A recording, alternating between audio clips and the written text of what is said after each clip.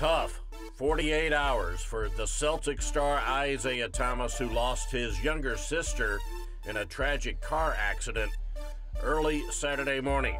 But Isaiah had to focus on game one and try to lead the Celtics at home against the Bulls. Avery Bradley for a three pointer in the first quarter.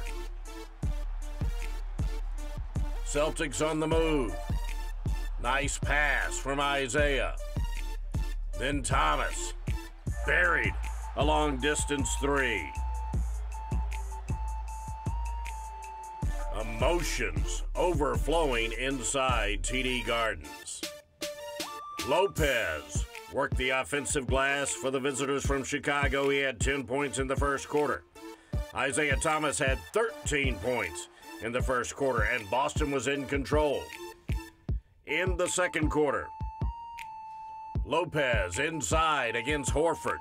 He finished with 14 in the game.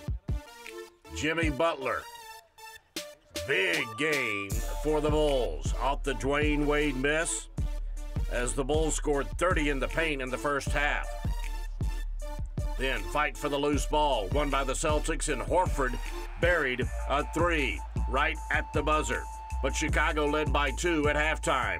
Move ahead to the fourth quarter. Bobby Portis. Big three pointer for Chicago. Portis with 19 points. Al Horford faked the three. Strong take for two of his 19.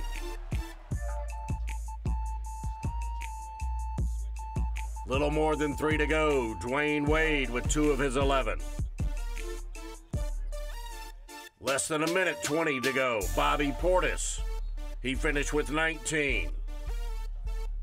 Jimmy Butler, isolated. Strong take. And Chicago began to emerge. Isaiah Thomas, though, came down, buried the three pointer.